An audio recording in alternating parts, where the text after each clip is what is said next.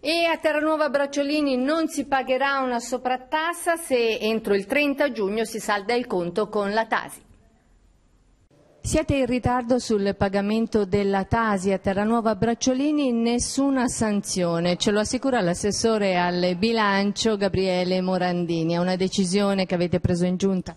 Sì, è una decisione che abbiamo preso in una precedente giunta in considerazione delle difficoltà applicative di queste norme statali che sono state modificate i primi di maggio e per venire incontro a tutti i contribuenti abbiamo deciso che non verranno applicate sanzioni per ritardati di pagamenti se il pagamento interviene entro la data del 30 di giugno. Abbiamo dato di fatto 15 giorni in più ai contribuenti per mettersi in regola con il versamento.